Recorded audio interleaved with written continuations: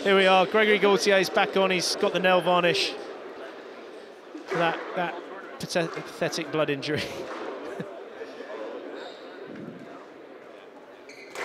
so to recap, a fantastic first game by the French general, controlling the pace of the hitting, great accuracy to the back of the court, nullifying most of what the Raging Bull's able to do at the moment. I think we'll see an acceleration in response from Mostafa Asal, looking to try and get on the volley and, and, hurry the, the rallies and increase love. the tempo, I feel.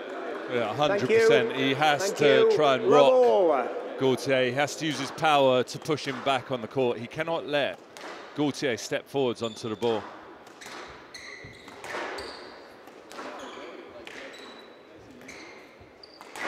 Anything around that middle area, Gaultier is lethal. He controls the game from there.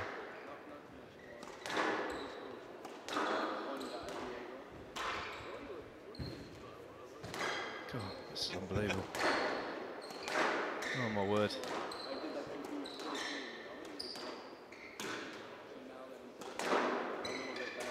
Down. Decent, very, very decent opening and rally for the second game.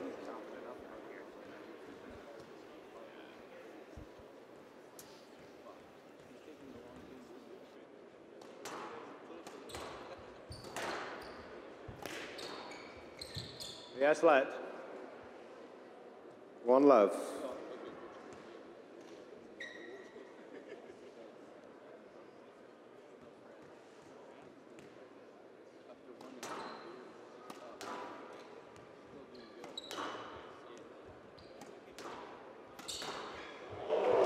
Well, there it is. He hit 15 of those against Abildgaard. First one Two here love. this evening.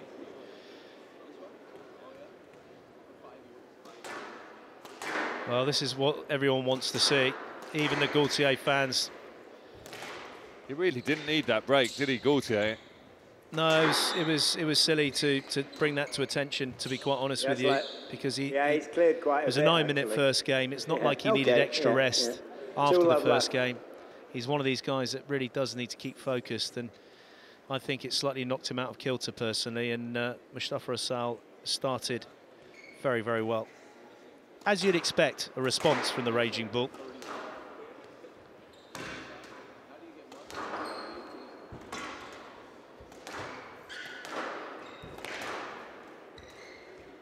So that's... Stroke to Gaultier. I, think, I think he could have played that. yeah, I know. Do you think he's he's brilliant at getting those and strokes? Out one, Gaultier. Always has been throughout his career. Yeah, he has. Sometimes, I mean, he's had his. I mean, the ironic thing is, it's John Massarella. They've had their spats. Their spats. They do Skype with each other outside of tournaments. or then tussle during tournaments. Metaphorical tussle, of course. Although I do oh think John gosh. Massarella would make a good wrestler. Down.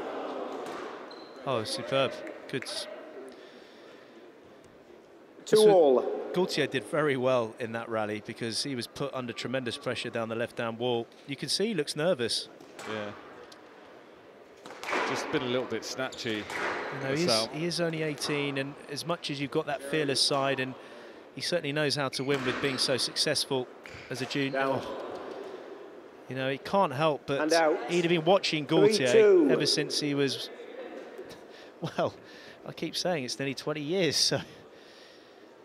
So basically when he wasn't born. mm.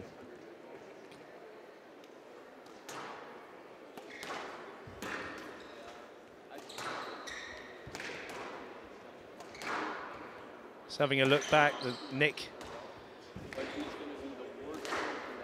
That's good. Yeah, very clever. a little chat with him and there. Out.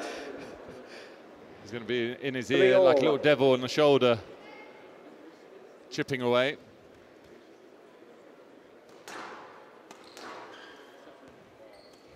Down.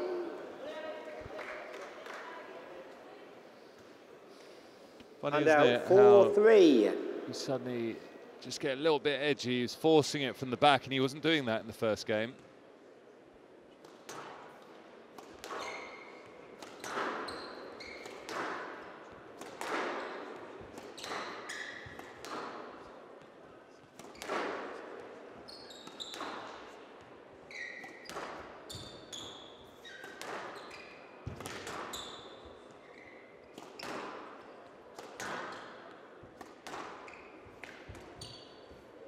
Clever, very subtle from Asal.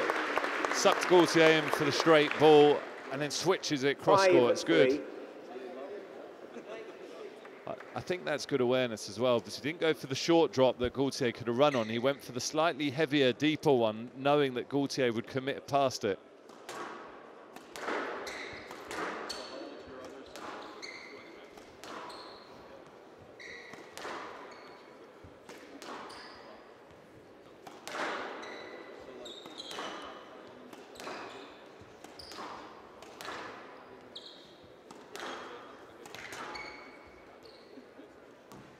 Let 5-3. Well, it's officially the warmest it's been throughout this event. It's close to 27 degrees on court yeah, temperature. 5-3. To say it's unbelievably mild outside in New York with everyone in, but this is the the warmest recording we've had.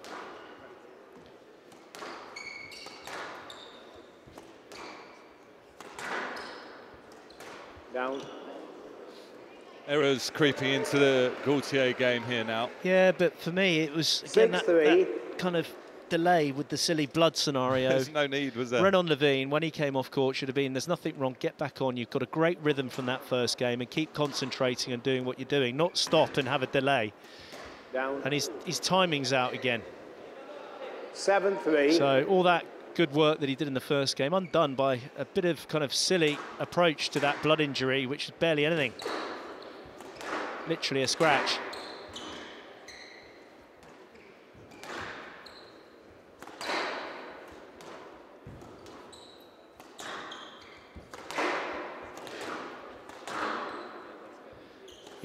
You, see, you see the there's another tin. There's so many errors. He looks back and the confidence now, the nerves are disappearing from Asal. And he's getting more and more confident. That's four or five in this game for Gaultier. And as you say, it just changes everything because you can't just suddenly turn on the switch again and find that rhythm. And also you then got to deal with a, an opponent who's grown into the game. Down. Or not. Well, he needed that error. Hand out 4-8. Well, it's pretty hard considering he didn't have a foot on the ground. Well, I suppose when you've hit 15 in one match at the very highest level, then It looks as though the Raging Bull is going to equalise quite four. shortly. He's at 9-4.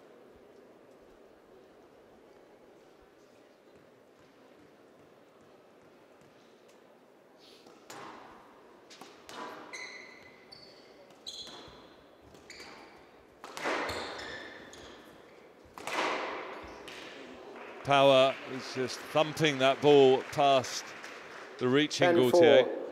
Game ball.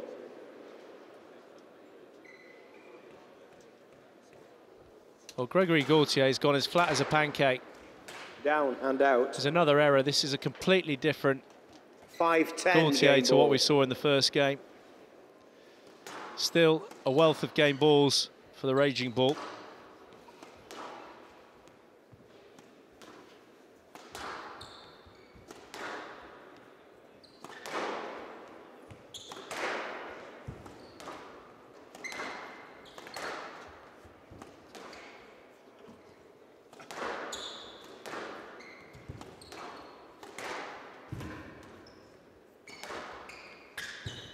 Better. Get back to controlling the pace of things.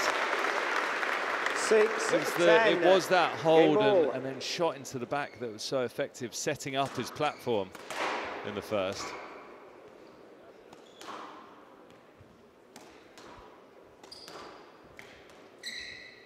No let. No, he's got no chance. Player review. He's got to go through and play that. No yeah, it was a silly decision. choice. It was a silly choice. It was easy for him to play that.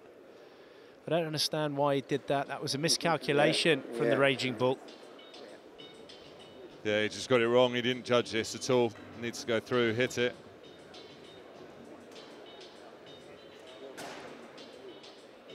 There's loads of room. Absolutely loads of room to play that. Stop stopped too early. Yeah, that's going to be upheld.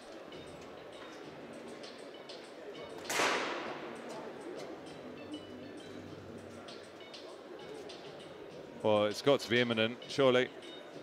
Can't see us needing to watch too many of these. No let, decision upheld. Sal has no reviews remaining. 7-10, right side, Right game side. ball. Gaultier serving backhand, facing his opponent into the sidewall. Oh, it's tagged.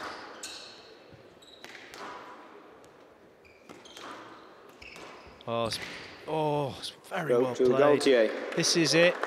This is the type of 8 squash 10. we saw from the general in the first game. game. Uh, clever, very clever.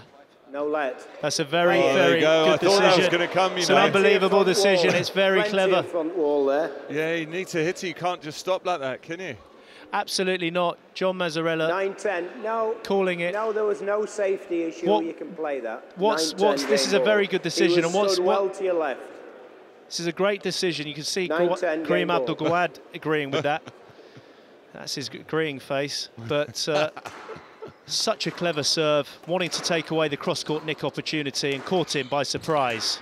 Great decision by Massarella. Yeah. It'd have been the easy option to go let ball. Well, the safety and Yeah, all that. I mean, it's like it just gets so vanilla.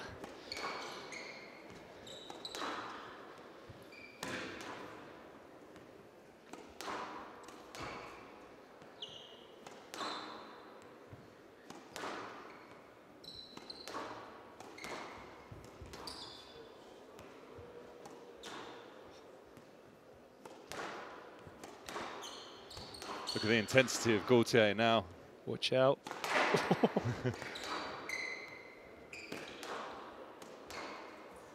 Yes, let. God, he's risk. Why is he stopping? I don't know why I he's don't know. stopping. I tell you what, he looks quite. He, he stopped Oh. on that and he looked round to John Massarella. Gawad was still pulling ball. the same face that he pulled on the no-let scenario, and uh, we didn't see a replay of that, but it'd have been close. it would have been close. It's good. He didn't take space there. Oh, oh my Gaultier goodness me. scrambling. Oh, he's in the floor. He's in the floor. He looks back. He's so nervous. He's so nervous. The power there, and then into the floor. Gregory Gaultier 10 has come back to a Player must tie break in the second game. The crowd are going bonkers. He's just, what's going on? He's asking. Oh. quickly, no, God. that's fine. You look you. at Asal. Thank He looks again hugely nervous again. He does, but he's he's trying to buy himself some time here. He's called the floor cleaners on. Oh, Oh, that would have been a good frame. this is tense as.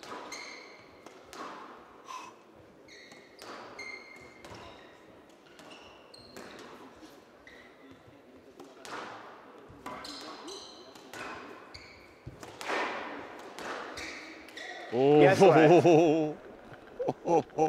Ten all. that's close. This is close. Is there a line behind Gaultier? Did he know much about it? All these questions suits you, sir. Oh.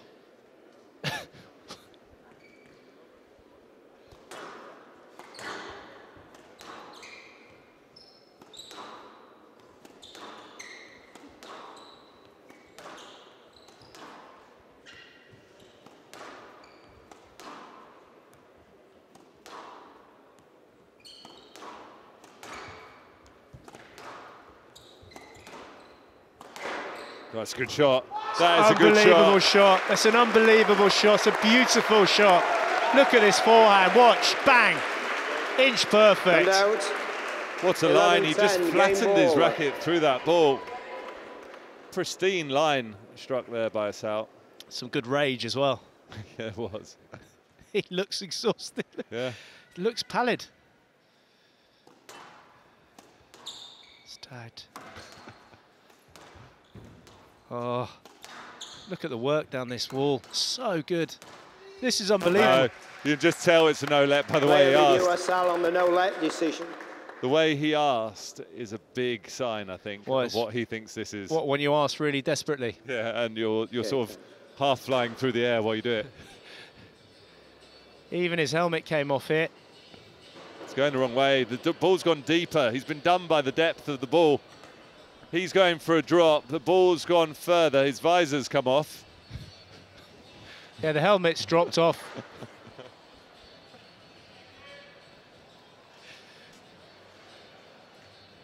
It's confirmed, so... No let decision upheld. Asal has no reviews remaining. And out. The refereeing has been very good. Again, I don't want to jinx it. Better line he... to the ball to the left so there's the explanation. He's just trying to mend his helmet. I'll tell you what, when he gets to 19 years of age, I bet he can't help, can't wait to get rid of the, that when he's out of juniors. Game ball for the French general, once again. Not game ball, sorry, 11 all.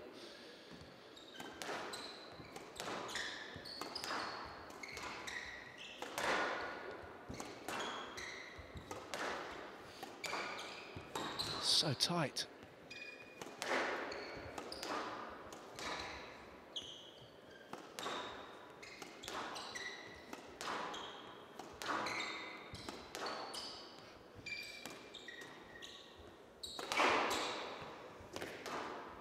Oh, it's a stroke. Video referee. Right, there, right. Okay, so this is an Asal's obvious stroke, apart from the fact that he's massively exaggerated his swing. And if you massively exaggerate your swing, the referee is completely entitled to give a let ball. Okay. So this could be a let ball when like it should that. be a really obvious stroke. I like that because we this is what we're trying to cut out. There's Yep. no need Watch, to. That is not his normal swing. Well, of course it's if it's they see it as an exaggerated swing, they'll give this as a let, even though it should be 100% a stroke if he'd just been normal. So they've uh, just gone for the stroke. Worth worth a word from John Massarella though. Wait for it. Hand out. 12-11 game ball, Mr. Asal. Just watch the extended swing. That will not influence my decision, the extended swing. Okay? 12-11 game ball. Brilliant refing. What does he mean by not influence? Well, I mean, his- he has obviously got his English completely wrong, but it was uh, the point of was good. There he goes, played. shut out. He's finished that off brilliantly. He has. We've got a game on our game hands. The quality has been all. unbelievable. The accuracy of these guys has been so good. Gaultier turning it on towards the back end of that second. He had his opportunities, but it, the scene is set for what everyone has wanted to see, an absolute classic. 30 minutes, bang on, one game apiece. Well, this is turning into a bit of a roller coaster between these two. Gaultier really didn't find his rhythm. He'd lost his rhythm after that blood injury break that he probably didn't really need. He should have just been on there playing. It allowed Asal in, and you really do not want to give Asal a sniff at anything because once he's on there, he's getting confident. He plays some superb squash. Gaultier doing brilliantly to get back into it, and then all the character was required from Asal. He got himself back in. He showed why he's a two-time world champion. He showed why he's getting big wins on the tour. And now we've got a serious match on our hands. I tell you, Joey, just at the end there, talking about the exaggerated Play swing. I know John Massarella 60 came in with a comment, but I think actions speak slightly louder than words. And if it had just been a simple let ball, it would have said everything. Whereas it was still a reward for the point, which then led to him winning the game. So I would have personally gone for a let ball instead of actually saying saying not a stroke and then giving the warning. Yeah, completely. I completely agree with you.